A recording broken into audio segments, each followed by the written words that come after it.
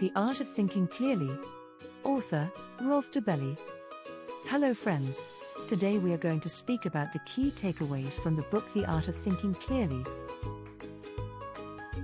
1. We have certain ways of understanding things which, on examination, is irrational.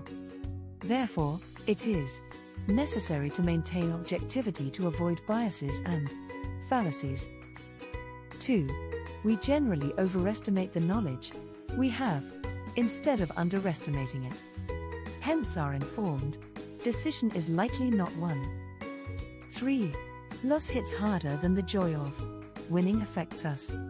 We exhibit more loss aversive tendencies than winning based risk calculations. 4. We have a tendency to process information in a way that fits in with our worldview, thereby affecting our objectivity in relation to that. Go ahead. Subscribe now. Log into your librarywala.com account and order your next quick read.